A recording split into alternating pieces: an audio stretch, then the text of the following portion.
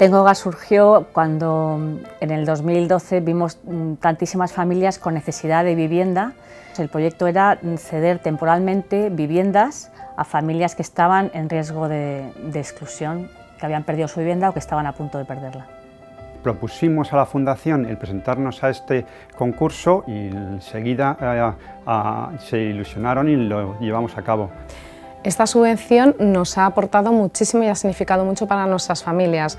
Les ha permitido eh, disfrutar de actividades de ocio en familia, de actividades de formación para capacitarles profesionalmente y además nos permite cubrir necesidades de conciliación familiar, becas de guardería, etc.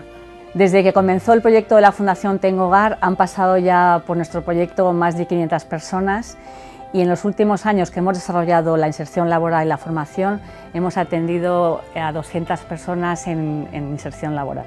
El programa Más que Palabras eh, eh, eh, realmente es algo material. Nosotros hemos conseguido llevar a cabo los proyectos que, que, queríamos gracias a ellos. Con ese pequeño esfuerzo se consigue ayudar a muchas personas.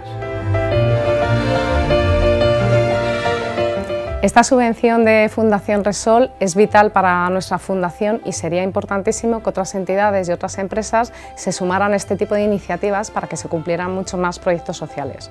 Me enteré a través de la comunidad de, accionistas y, hubo pues, mucha alegría porque podemos llevar los proyectos que se están desarrollando son muy importantes para, todos nosotros. Estamos muy agradecidos a este premio que nos ha ofrecido Repsol porque nos permite ofrecer formación y ayudas de conciliación a muchas de las familias que tenemos en la Fundación.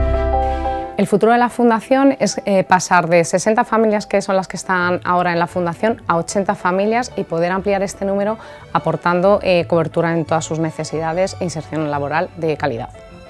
Esa ayuda de la Fundación Repsol es algo que considero muy importante, muy beneficioso para la sociedad y que tenían que tomar ejemplo el resto de compañías, de, entidades, eh, de, todos los ámbitos y de todos los tamaños para poder devolver a la sociedad una aparte de los que de, de ellos reciben.